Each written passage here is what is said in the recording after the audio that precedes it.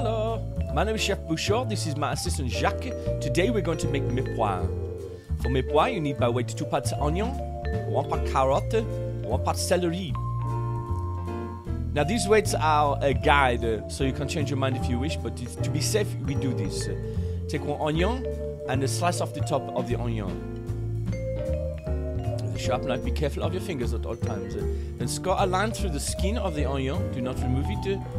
Peel it off as you would a jacket, for we are going to be using the peel as a handle later on when we dice the onion.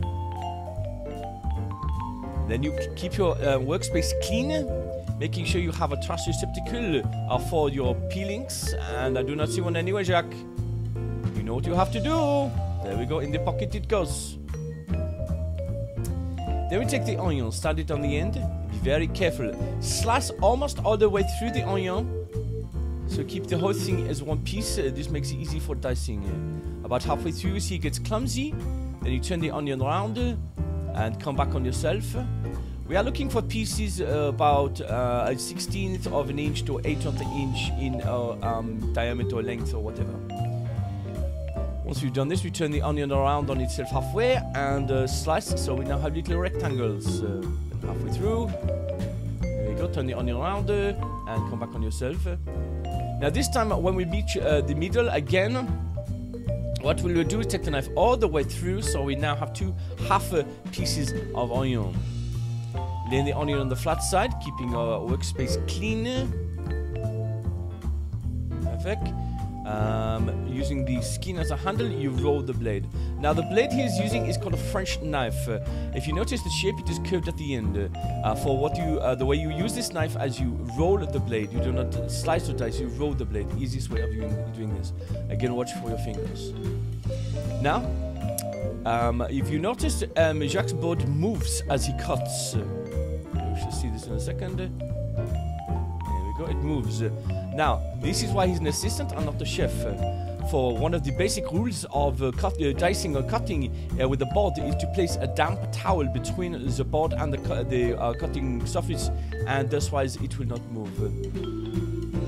So we have diced the onion, uh, we have placed the peelings in a receptacle. There you go. And then uh, collect it all together. Uh, taking off all the pieces of our onion peel and placing it into um, the uh, receptacle. There we go. Now, after we do this, um, we take off uh, the piece of celery, cutting off the bottom uh, and cutting off the top.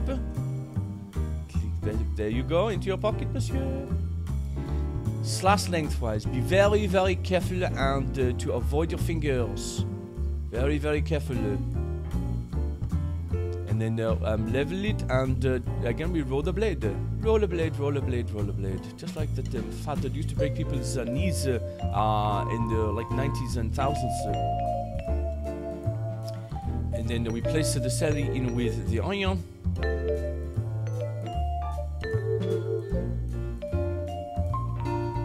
as there we go.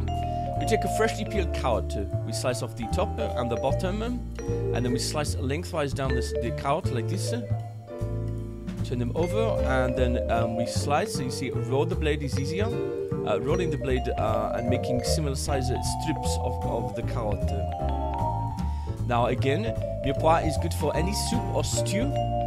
Um, and the weight being two parts onion, one part uh, carrot, one part celery is a baseline. You can change your mind. Once you become comfortable with mirepoix, you can experiment and uh, try different things. Mirepoix is actually very good by itself. Uh, once sauteed,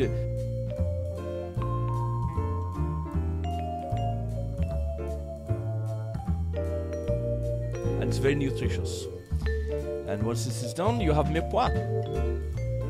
Next, Jacques will saute this. Uh, now, Jacques, uh, present, please. There we go. Now Jacques has a heated saute pan, extra virgin olive oil, a little bit of salt and pepper.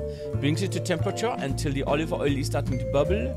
And then he takes the mirepoix and places it in the pan. From now on, it is just watching the pan and making sure that the heat is uh, running through all of the mirepoix by tossing it around. You can use a spoon or spatula if you wish. Now, for this amount, it will be about four to five minutes until it is cooked. Basically, uh, looking for the onion to be transparent. So there we have a mirepoix. Merci.